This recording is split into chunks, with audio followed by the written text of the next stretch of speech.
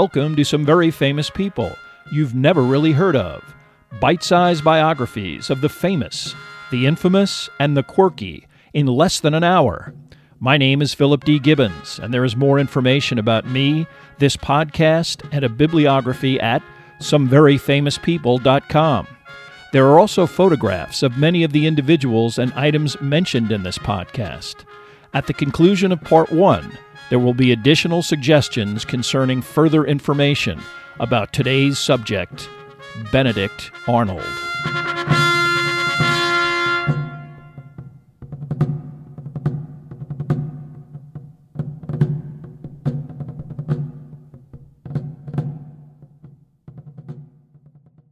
Now let's get started with our story.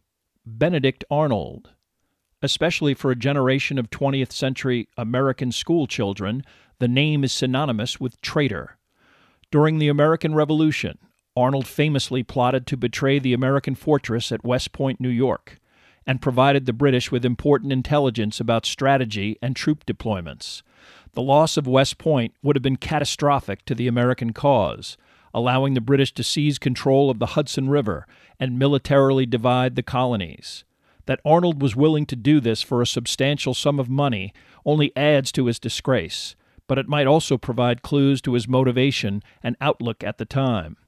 Not as well known as his subsequent treachery, Benedict Arnold initially fought bravely and occasionally very successfully in the Revolution, but also frequently bickered with commanding officers over recognition, promotion, and expenses. His marriage to Philadelphia socialite and British sympathizer Margaret Peggy Shippen, also greatly influenced and enabled his subsequent behavior. Shippen was a conduit to her friend, Major John Andre, Arnold's subsequent contact within the British military. Arnold's resentment over his dysfunctional military career, the hostility he encountered from his American colleagues that had resulted in his court martial over expenses, and his inability to underwrite the lavish lifestyle appropriate to his newly gained social status all contributed to the events that immortalized Arnold as one of the most reviled figures in American history. Benedict Arnold was born in Norwich, Connecticut on January 14, 1741. Arnold was one in a succession of Benedict Arnolds, including his father and great grandfather, the first governor of the colony of Rhode Island.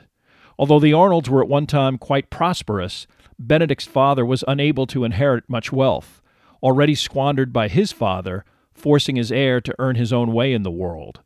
Arnold's father did this by emigrating to Norwich, where he became involved in a prosperous maritime operation operated by one Absalom King. Arnold worked in King's nautical shop and helped sail King's ships to the Caribbean and across Long Island Sound. On a transatlantic voyage in 1732, King died at sea, and within a year, the opportunistic Benedict Arnold III had married King's wealthy widow and taken control of the business. Hannah Waterman King Arnold would give birth to 11 children in her lifetime. Only two would survive to adulthood, including her second son with Benedict Arnold III. This would be the most famous and infamous of the Arnolds. Initially, things were economically good for the Arnold family. Captain Arnold's business thrived, and he and his pious wife were respected as pillars of the community. Benedict Arnold was enrolled in a local grammar school and eventually at the Canterbury School, a stepping stone to Yale and accessed only by the wealthy. But poor management and alcoholism would get the better of Captain Arnold. His business would eventually go bankrupt, forcing Benedict's removal from prep school. At the age of 13, Benedict was forced to pursue the career path of many teenagers in the American colonies when he went to work as an apprentice. Through his mother's family connections, Arnold trained as an apothecary in a relative's prosperous Norwich shop. This relative, Dr. Daniel Lathrop, brought the teenager into his impressive riverfront mansion. Arnold's parents signing official articles of apprenticeship that indentured the boy until the age of 21. This was another common practice of the day especially in cases where a family was threatened by the debt now confronting Arnold's father. Having lost all of her own children to disease, Daniel Lathrop's wife, Jerusha, treated Arnold as her own son and for several years was exposed to the genteel and proper existence within the Lathrop business and home. However, when the conflict known as the French and Indian War broke out in 1754, It instilled within Arnold a restlessness to join the military effort against what was nationally perceived as a barbarian attack. Initially, with his master's permission, the 16 year old Arnold would set out in 1757 to the Champlain Valley in upstate New York with an expedition of Norwich residents, intent on joining forces repelling Indian attacks coordinated by the French. This venture would conclude quickly, the unit returning to Connecticut without seeing any action. But the experience would prompt Benedict to leave home for subsequent military adventures without Lathrop's permission. Although the doctor legally hauled him back on several occasions, Arnold would eventually succeed in permanently joining the New York militia in 1759. Unfortunately, hearing that his mother was gravely ill, he deserted and made it back to his mother's bedside in time for her death on August 15, 1759. His willingness to flout the law out of devotion to his mother, his handling of her funeral, and his attempts to provide for his only sibling, his sister Hannah, endeared him to the locals, especially his adoptive parent, Jerusha Lathrop. Captain Arnold, now a hopeless alcoholic, was destitute, and Mrs. Lathrop provided Arnold money and support. Dr. Lathrop literally kept Arnold's father out of debtor's prison, assuming various debts. Benedict Arnold's father finally died in January of 1762. By then he was mocked as the town drunk, a dissent that instilled in his son an aversion to alcohol and a hostility to the town of Norwich itself. Upon his father's death, Dr. Lathrop gifted Benedict Arnold his father's home, free and clear, gave him a small fortune to start a trading business after Arnold expressed a desire to strike out on his own, and letters of introduction to be used in the young man's intended destination, New Haven. The ambitious and shrewd Arnold opened a shop in the thriving seaport town and stocked it with the latest luxuries from England, brought personally by the owner. He marketed himself as Dr. Arnold from London, which only added to his venture's prestige. Arnold also seems to have been quite domineering in his dealings with his sister Hannah. He sold the family home in Norwich, forcing her to move to New Haven, where she would work within his business. He was also quite hostile to any potential suitors, and despite his sister's eligibility, she would never marry, remaining devoted to her brother despite subsequent events. Arnold used the proceeds from the sale of the family home to finance the purchase of a merchant ship, and by the age of 25 was prosperously operating three such vessels. Technically, with stricter regulation being imposed by the British Empire, Arnold would be part of a class of maritime businessmen who shaded the law and resorted to what would be officially deemed smuggling illegal trade with French, Spanish, and even Dutch outposts in the Caribbean provided such products as sugar and molasses, with merchants like Benedict Arnold circumventing the hefty British tax imposed on such products obtained through legal means. In fact, the British government's attempts to clamp down on these practices and wealthy British trading interests intent on imposing a monopoly on such markets would be a major cause of the American Revolution. Due to his profession, Benedict Arnold would be thrust into the center of the conflict over stricter British government attempts to collect taxes and duties owed by merchants like himself. He responded by joining the Sons of Liberty, a large organized group that was involved in rowdy and violent protests throughout the American colonies. The Sons of Liberty responded forcefully to a new British tax on specially stamped paper produced in Britain that was required for most printed material the ensuing demonstrations so vehement that the British Parliament actually backed down and repealed the Stamp Act in 1766. Part of the American hostility to this and other taxes was a worsening of the economy, with merchants relying on debt to buy goods on credit, only to have their customers renege based on their lack of prosperity during the economic recession of the era. Arnold himself would be sued by creditors during this time period and would barely keep his enterprise running. Despite this external conflict, Arnold was able to court and marry a very attractive, well connected 22 year old named Margaret Mansfield, the daughter of a local prosperous merchant and fellow Freemason.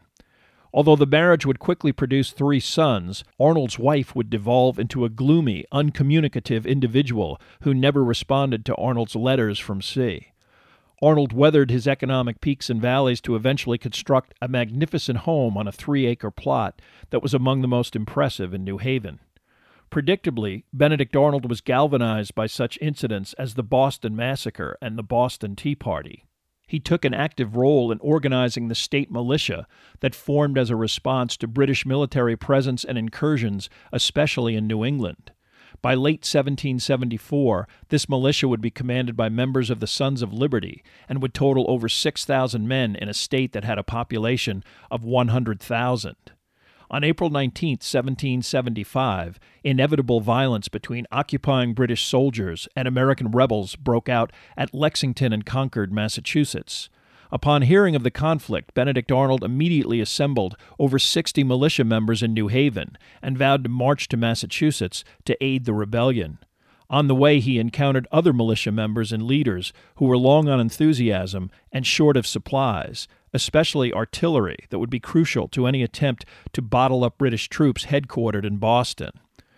Arnold, who was familiar with the territory surrounding New York and New England, hit upon the idea of seizing the British installation at Fort Ticonderoga in upstate New York, and had little trouble in persuading the Massachusetts Committee of Safety to finance a mission to seize the fort. Vermonters, under the command of Ethan Allen, had the same idea, and when the rough edged Green Mountain Boys were confronted by Arnold with orders from Boston, they bristled, especially at the sight of the out of towner, clothed in a perfectly tailored scarlet uniform. Eventually, an agreement was worked out in which command was divvied up between Allen and Arnold. The garrison at Fort Ticonderoga was minimal and would not expect an attack, not even aware of the outbreak of war in Boston. Although Fort Ticonderoga was captured without a single casualty, the plan to immediately transport artillery was hindered by the Green Mountain Boys, who were more intent on consuming the British liquor supplies and looting private property. Arnold would spend the next few months dealing with infighting fomented by Allen's surrogates, intent on taking credit for the success at Ticonderoga and Crown Point, and confusion from the various political entities attempting to impose some organization on the practically spontaneous rebellion. Arnold was intent on aggressively invading Canada before the British could reinforce the area and begin their own attack, but after his command was undermined and his expense reimbursement requests ignored, he returned to Connecticut in June of 1775. News of his wife's sudden death reached Arnold as he returned home, a development that must have added to his gloom. Only weeks later, with his sister running his household and what remained of his business, Arnold set out for Cambridge, Massachusetts. Once there, he arranged a meeting with George Washington, the newly appointed commander of the Continental Army, and sketched out his strategy of a specific invasion of Quebec with an emphasis on local support from a French Canadian populace hostile to British rule. He also wished to invade the province from the north via the wilderness region of Maine, a daring but also challenging plan. Washington endorsed this idea and also got agreement from Philip Schuyler, the general now officially assigned to leading the American effort in the Lake Champlain region. With approximately a thousand men, Arnold set out in early September. Because of challenging logistics through swamps and inhospitable terrain and waterways, did not even reach Quebec until late October. Storms, illness, and lack of adequate supplies, as well as the desertion of a third of his force, already threatened the expedition. But Arnold pressed on, reaching his intended target, the British fortress at Quebec City. He intended to leak up with Richard Montgomery, who would replace Schuyler as the commander of the American unit that was also invading Canada via Lake Champlain and Montreal. Montgomery was an Irish, former British Army officer who had married a wealthy relative of Philip Schuyler. He was initially appointed second in command, but when Schuyler's declining health forced him to abandon the invasion of Canada, Montgomery took over. A gifted, charismatic commander who generated confidence among his soldiers, Montgomery had already captured Montreal and provided Arnold's under equipped unit with clothing and supplies. But his force only numbered about 300 men, and combined with Arnold's 600 was far below the thousands that had initially accompanied the northern invasion. Nevertheless, Montgomery and Arnold spent December planning the inevitable storming of the city, a siege impossible against superior British artillery, and December 31st the end of the enlistment period of many of Arnold's militiamen. They resolved to attack central Quebec City by scaling the walls on the first cloudy night towards the end of the month. Perhaps not coincidentally, an attack was ordered on the snowy night of December 30th to take place in the early morning hours of the 31st. Rockets signaled the 4 a.m. attack by the divided American column, but these rockets also alerted the British, who, tipped off by an American deserter, were expecting the attack. Montgomery and several of his officers were killed after literally sawing through a log barricade and attempting to storm a heavily fortified blockhouse. Arnold was wounded in the leg in a similar frontal assault, the attack eventually dissipating into an utter failure, with dozens killed and hundreds ultimately taken prisoner. What was left of the American invasion force, including the wounded Arnold, retreated and waited for reinforcements and supplies. An inconsequential siege continued through the winter and spring of 1776, but it was ended by the eventual arrival of thousands of British troops, who promptly chased the Americans and Arnold out of Quebec, the invasion ultimately a dismal failure. Similar massive British military forces successfully invaded New York City, the British believing that a coordinated attack of their own would split the colonies and ultimately end the rebellion. British troops in Quebec attempted to capture American forts at Ticonderoga and Crown Point, an invasion that Arnold anticipated. Now reporting to Schuyler and his newly appointed second in command, Horatio Gates, Arnold spent the summer constructing a fleet to oppose the requisite naval transport of British ships across Lake Champlain. Arnold's hope was to delay the British advance and force the attackers to halt their invasion and take up winter quarters without making much progress although a British naval expedition under the command of Guy Carleton, the British Governor General of North America, and Arnold's opponent at Quebec City succeeded in destroying most of Arnold's hastily constructed fleet at the Battle of Valcour Island on Lake Champlain on October 11, 1776, Ultimately, this invasion stalled and was forced to halt, delaying any further British incursion until the spring of 1777. Arnold's strategy had prevented the British from their overall goal of linking with an army heading north from New York City and bisecting the American colonies, a potentially fatal blow to the Revolution. By the winter of 1776, Benedict Arnold had already incurred the enmity of most of the politicians and military figures involved in the colonial effort. While he considered himself a soldier and a patriot above the backroom politicking of the Continental Congress, his enemies continually attempted to undermine his reputation. Throughout 1776, he defended himself against charges and even a court martial concerning theft of property during the invasion of Quebec. In December, Arnold, en route to Philadelphia, the seat of the Continental Congress, met with George Washington in Bucks County, Pennsylvania.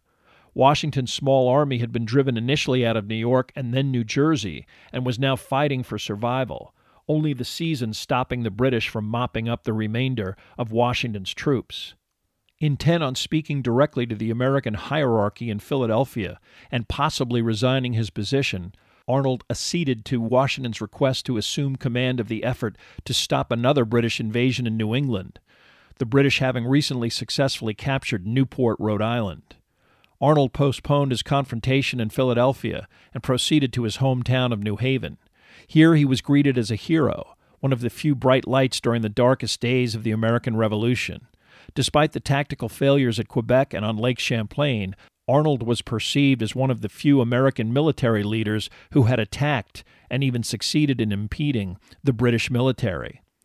When Arnold reviewed the situation in Rhode Island, he decided to postpone the expected assault on Newport that would expel the British from this seaport town.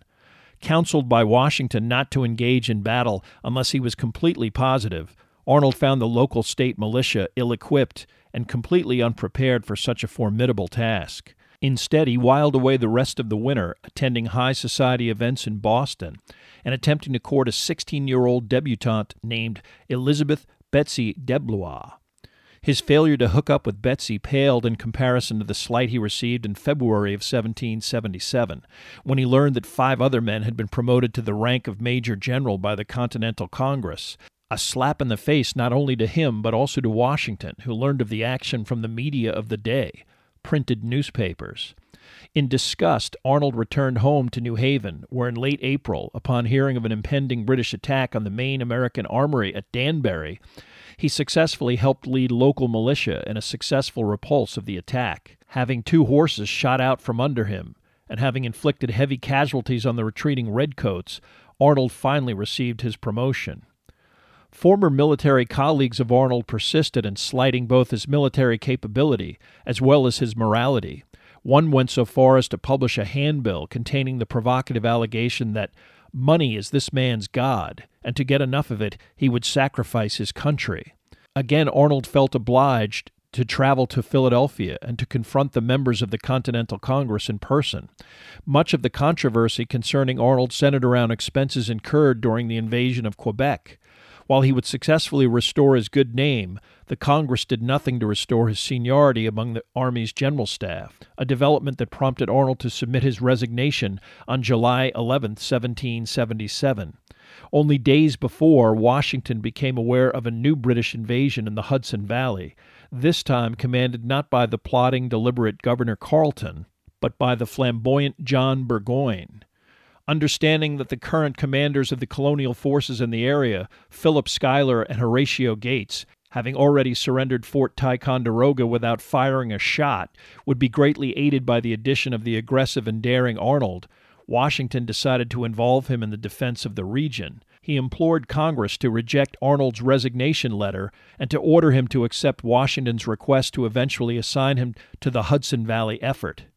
Congress agreed but refused to restore Arnold's seniority for a second time.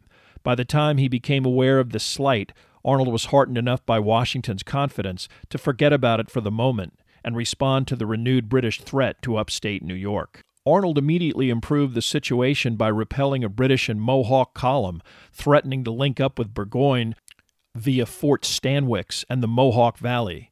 While some dubious historical accounts describe Arnold as using trickery to deceive native troops accompanying the British into deserting in the face of what they believed to be an impending massive attack, Arnold's efforts did result in the retreat of this force all the way to its home base on Lake Ontario. This positive development coincided with a battle at Bennington, Vermont, on August 16, 1777, in which troops sent by Burgoyne to link up with Loyalists in New Hampshire were set upon by local militia and completely destroyed, with a thousand killed or captured. Suddenly, Gentleman Johnny Burgoyne, as he was known in London society, was down to 5,000 men and critically short of supplies he faced the prospect of either admitting failure and retreating back towards Canada or pressing on in an effort to find suitable winter quarters closer to British territory near New York City. Burgoyne decided to advance, also making the fateful decision to abandon recently captured outposts along his chain of supply. He would eventually be forced to fight his way out of his now encircled position, outnumbered by more than two to one, by American soldiers and militia from New York, Connecticut, New Hampshire, and Vermont. After returning from his successful Mohawk Valley campaign, Benedict Arnold became embroiled in the ongoing political struggle between Generals Philip Schuyler and Horatio Gates. The ambitious Gates was perpetually undermining Schuyler, ultimately successful in getting the Continental Congress to promote him into Schuyler's command after the latter's sluggish efforts concerning the abandonment of Fort Ticonderoga. Arnold and Gates were initially civil, but this relationship quickly deteriorated, with Gates possibly feeling threatened by his volatile and strong willed subordinate. Arnold did little to help the situation, appointing some of Schuyler's former staff to his own staff, an open affront to Gates. While this intrigue festered, the American force waited for the inevitable confrontation with Burgoyne's increasingly desperate army. The military turning point of the American Revolution, known as the Battle of Saratoga, was actually a succession of two battles that took place in the vicinity of Saratoga, New York. Expecting that the British would continue their march southwards towards Albany, Gates's army selected a strategic position on an elevated position known as the Bemis Heights. Understanding that attacking the entrenched American position there would be, be disadvantageous, Burgoyne attempted a flanking maneuver that resulted in the Battle of Freeman's Farm. Although he won a tactical victory by ultimately forcing an American retreat from the field of battle, Burgoyne suffered major casualties and was unable to follow up on this success. While General Gates remained safely from the front lines in his tent, Benedict Arnold was repeatedly visible in the field of battle helping to halt the British attack. As night fell, Arnold wished to aggressively pursue the British, who seemed on the verge of collapse. He was forbidden to do so by Gates, an order that infuriated Arnold and brought the hostility between the two generals into the open. In both heated personal argument and written communique, Arnold expressed anger at what he felt were both deliberate attempts to minimize his role and slight him personally. The situation became so intense that Gates eventually demoted him entirely. While the American General Staff bickered, the British situation worsened. Canadians accompanying the invasion began to desert in large numbers after the first battle.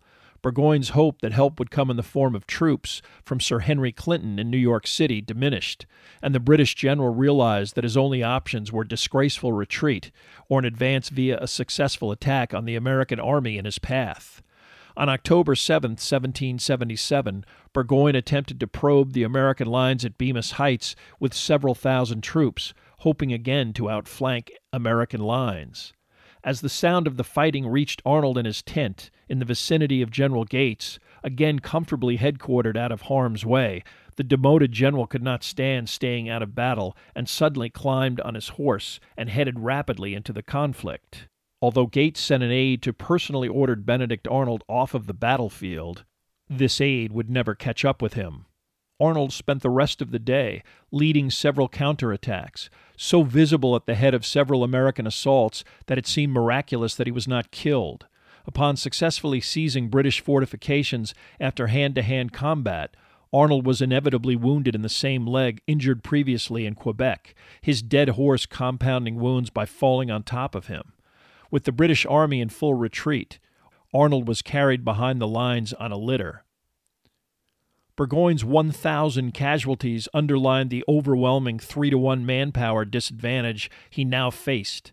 Reluctantly, after meeting with whatever general staff had not been killed, he came to the unavoidable decision to surrender, which occurred officially on October 17th.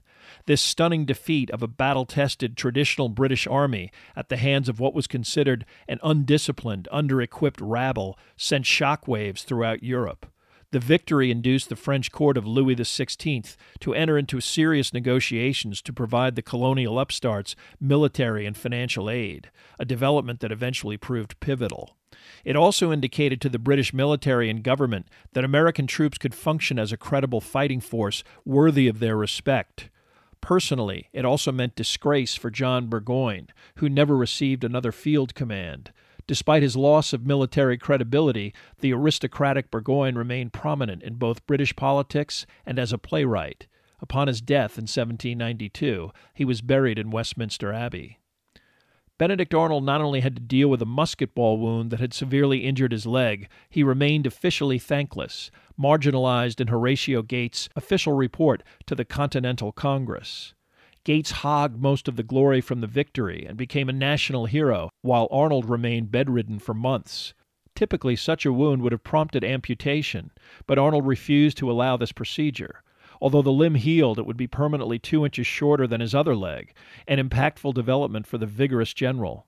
During his convalescence, Arnold seemed to transform from an enthusiastic, motivated soldier into an embittered skeptic. Practically, his injury prevented an active role on the battlefield, and after the British withdrew from their occupation of Philadelphia, Washington fatefully appointed Arnold as the city's military governor in June of 1778. Philadelphia was abandoned by the British after the misguided occupation by General Howe in September of 1777. Instead of relieving Burgoyne in upstate New York, Howe reasoned that occupying the American capital and hounding Washington's bedraggled army, which would famously spend the winter at Valley Forge, was a more effective blow to the colonial rebellion. But Howe's short sighted plan did not account for the prospect of occupying a city after most of its merchants and the Continental Congress fled, and that the colonials would continue to fight after their capital was captured. Food and other provisions were scarce, and Howe returned to New York in June of 1778. With Arnold unable to physically perform on the battlefield, Washington reasoned that a stationary post in Philadelphia would be a worthy assignment.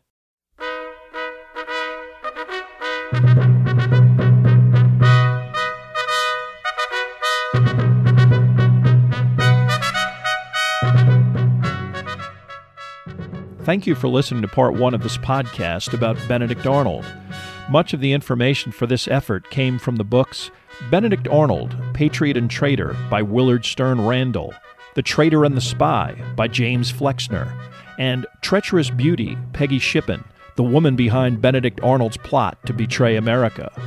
There are also additional photographs, bibliographical and musical information at someveryfamouspeople.com, as well as sketches by John Andre. If you have enjoyed this presentation, please like us at our Facebook page, Some Very Famous People, and follow us on Twitter at Philip D. Gibbons. Also, rate us on iTunes, and if you have the time, leave a brief review. A link is provided at the website.